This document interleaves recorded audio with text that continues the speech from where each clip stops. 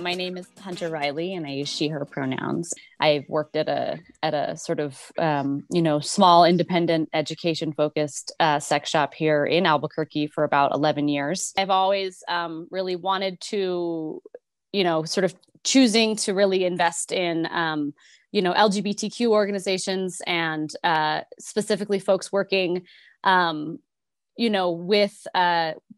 issues that are Im- impacted by and about sexuality. It was really nice to see this very strong message that was also including sexuality in information for survivors. And um, I, what, what I really liked about what you all were doing is just it seemed like there was a lot of conversations that you don't see happening in in survivor spaces and i think can sometimes lead to like further shame and further confusion but also i really like that you all are also addressing people who have caused harm and who have done harm because i feel like that is a part of the conversation that has been long forgotten about. And um, i really appreciate anybody who's willing to really talk about that part as well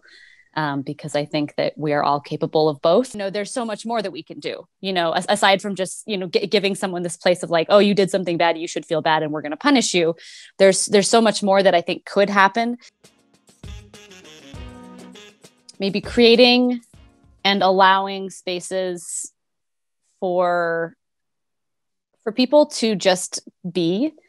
and to unpack what they've been holding on to for a long time um, and unpack what's heavy to help young people and children um, and and their caregivers and parents and be able to have a way for communication around sexuality in that space to be better and to be one that does not you know push people away and that does not like silence people. When, when i like i said went through you know the website and was like oh oh my gosh this is everything i care about. And everything i've literally been like this this is where i want to put my money. These are the things i it's all in one